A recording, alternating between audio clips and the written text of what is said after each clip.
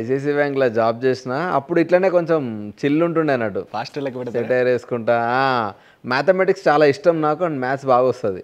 So నాకు దాంట్లో మాత్రమే ఫుల్ మార్క్స్ వచ్చేది దేంట్లో రాకపోయేటి అన్నట్టు. చాలా దూరంగా పైకి అయితే ఆ ఇంట్రెస్ట్ పైనే పోయినా బట్ బ్యాంక్కి వెళ్ళినా మళ్ళీ మ్యాథమెటిక్స్ రిలేటెడ్ స్టఫ్ ఏం లేదు అక్కడ. సో బోర్ కొట్టేసింది నాకు ఒక వన్ ఇయర్ అయిన తర్వాత అంటే పెద్ద ఏం ఎఫెక్టివ్ అనిపిస్తలేదు. మన అంటే మన చేతిలోకి వచ్చేటి కావు కదా అవి. అది మ్యాటరే. సో అట్లనే అయితే ఆ టైంలో నేను ఇంట్లోనే జోక్స్ వేసుకుంటా ఇట్లా చిల్గా తిరుగుతుంటే మా మన మేన అసిస్టెంట్ మేనేజర్ ఒకరు ఉంటారు దాంట్లో శివ అని. అరే నీకు చాలా అంటే నీకు ఎందుకు యాక్టర్ అవుతావు అని అనిపిస్తుంది నాకు కొంచెం ట్రై చేయరా అన్నాడు. సో నాకు ఎప్పుడో నా ఇన్స్టింక్ట్ అయినా మళ్ళీ ఇట్లా అనేసరికి అమ్మ నేను కాకుండా ఇంకో పర్సన్ అన్నాడంటే సరే ఏదన్నా ట్రై చేద్దాం కదా అని అనిపించి ఓవర్నైట్ రిజైన్ చేసిన. మేనేజర్ షాక్ అందరి షాక్. నేను అసలు వెనక్కి వచ్చే ప్రసక్తిలో లేను. బట్ ఇంట్లో చెప్పలే కానీ రాలేదు. ఆ తర్వాత ఏం చేయాలో అర్థం కాలేదు. గూగుల్లో ఎతికి అది ఇది కనుక్కుంటే కనుక్కుంటే చాలా రోజులకి నిశింబిత థియేటర్ గ్రూప్ అని ఒక థియేటర్ గ్రూప్ తెలిసింది. అందులో రామ్మోహన్ హులగుండి అని ట్వంటీ ఇయర్స్ నుంచి థియేటర్ నేర్పిస్తున్నాడు యాక్టింగ్. సార్ని కలిస్తే సారే వచ్చేరా జాయిన్గా అన్నాడు.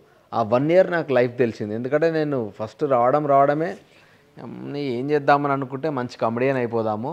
మంచిగా అంటే ఈ యంగర్ జనరేషన్లో ఎవరు ఇంకా లేరు కదా ఇప్పుడు కొత్త వస్తున్న వాళ్ళల్లో కొంచెం ప్లేస్ కూడా మనకు ఉంటుంది అని అనుకున్నా. బట్ ఎప్పుడైతే నిశుంబితలో జాయిన్ అయినో కమెడియన్ ఇదైతే అని ముందే డిసైడ్ కావద్దు. ఫస్ట్ యాక్టర్ అయిదాం అన్నీ నేర్చుకుందాం. ఆ తర్వాత లైఫ్ ఎడ తీసుకెళ్తే అటు వెళ్దాము అన్న ఒక టోన్ ఒకటి చేంజ్ అయిపోయింది నాకు థియేటర్ జాయిన్ అయిన తర్వాత. అప్పుడు జాయిన్ అయినాక ఇట్లనే మాడుతూ మాట్లాడుతూ ఉంటే బొమ్మల రామారావు అని ఒక సినిమా చేసిన బొమ్మల రామారావు అని ఒక సినిమా చేస్తున్నప్పుడు అప్పుడు తెలిసింది మా డాడీకి. Okay okay. నీ ఏమంటాడో అనుకున్నా నాకు చాలా భయమైంది. ఎందుకంటే ఆయన డెసిషనే ఫైనల్ డెసిషన్ సో అప్పటి వరకు రిజైన్ చేసిన అనే విషయం తెలియదు చెప్తే అసలు నువ్వు సినిమాలకు ఎందుకు పోయినవురా అని అన్నాడు. లేదు డాడీ ఇట్లా అనుకుంటున్నానంటే ఇంకా ఆయన ఒకటే మాట అన్నాడు. మనం కూడా కిందికి వెళ్ళి వచ్చిన వాళ్ళమే మనకు బ్యాక్గ్రౌండ్ లేదు అది ఒకటి ఎప్పుడు గుర్తుపెట్టుకో. నేను కూడా ఇట్లనే ట్రై చేస్తూ ఉంటే నేను అంటే వాళ్ళు చాలా పూర్ ఫ్యామిలీ నుంచి వచ్చారు వాళ్ళు. ఆయన అంతనే నేను ఓన్గా ట్రై చేసుకుంటే టీచర్ జాబ్ చేసినా నాకు కూడా అప్పటికి ఇది చాలా మా డాడీ అన్నాడు. అవునా? డాడీ కూడా ట్రై చేశారా? ఆహా డాడీ చేయలేదు. ఆహా మా డాడీ వాళ్ళ నాన్న స్టేజ్ ప్లేలు వేస్తుండే అంట నాటకాలు. ఓకే. ఆయన ఏమన్నాడంటే మనకున్న మాకున్న పావర్టీలా నేను టీచర్ అవ్వడమే ఎక్స్ట్రీమ్ నాకు ఆ టైంలో నేను ఓన్గా ఏ ఇట్లా కాదు నేను వేరే లైఫ్ చేస్తానని నేను వెళ్ళిపోయి సొంతంగా బతకాలన్న మూడ్లో అటు వచ్చిన సో నువ్వు కూడా కొత్తగా ట్రై చేస్తా అంటున్నావు. సో నేను వద్దని చెప్పా. బట్ ట్రై చేసి చూడు మన వల్ల వర్కౌట్ కాకపోతే ఇమ్మీడియట్ డెసిషన్ తీసుకో.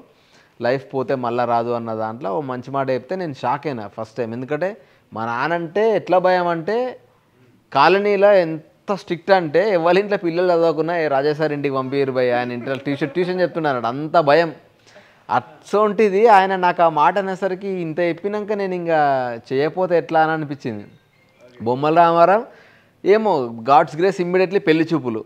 సో ఒకదానికోటి లింకప్ అయిపోయింది. బొమ్మల రామారంలో ప్రియదర్శితో నేను యాక్ట్ చేయడము అదే టైంలో డబ్ స్మాష్ వీడియోస్ కొత్తగా వస్తే నేను దాన్ని కొంచెం ఇన్నోవేటివ్గా చేయడము అనుకోకుండా అది ఎట్లా వెళ్ళిందో తెలియదు పూరి జగన్నాథ్కి పోతే ఆయన షేర్ చేసిండు ఫేస్బుక్లో వీడు బాగా చేసిండు ఎవడీడు అని. చేస్తే నాకు అసలు ఒక్కసారి ఓవర్ నైట్ ఇన్స్టింక్ట్గా జనాలు ఒక్కసారి నా సైడ్ తిరిగిరన్న ఫీలింగ్ వచ్చింది. ఓకే. సో దాంతో దర్శిగాడు ఇవన్నీ చేస్తుంటారే నువ్వు చాలా స్ట్రగుల్ అవుతున్నావు చూస్తున్నా నేను. ఐ మీన్ యాక్టింగ్ ఈ వీడియోలు అన్నీ చేస్తున్నావు కదా.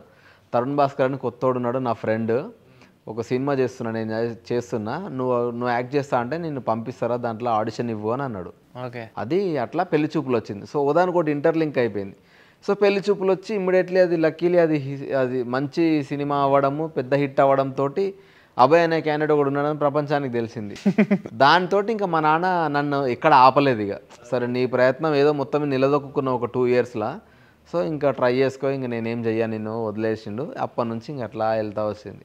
ఆ త్రీ ఇయర్స్ స్టిల్ నాకు ఒక మిరాకిలే మా డాడీకి చెప్పకుండా ఏ పని చెయ్య. అసొంటిది నేను జాబ్ రిజైన్ చేసిన తర్వాత ఎయిట్ మంత్స్కి తెలిసింది మా నాన్నకి. సో ఇంక అంతే ఇంకా రాసి పెట్టున్నట్టుంది నాకు అందుకే మా నాన్న ఏమనలేదు.